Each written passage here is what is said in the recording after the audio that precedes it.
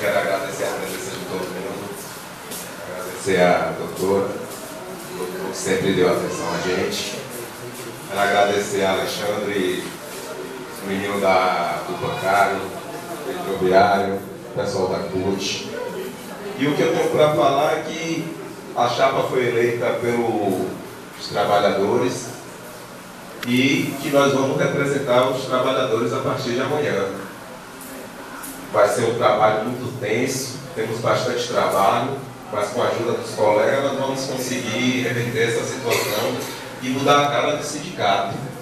Porque esse sindicato está com a cara manchada e feia. E eu, particularmente, eu vou me dar por inteiro para reverter essa situação.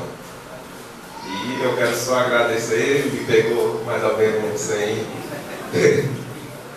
sem meu discurso, mas é isso aí, bora tocar a bola para frente e vamos trabalhar e realmente mostrar para que serve o sindicato.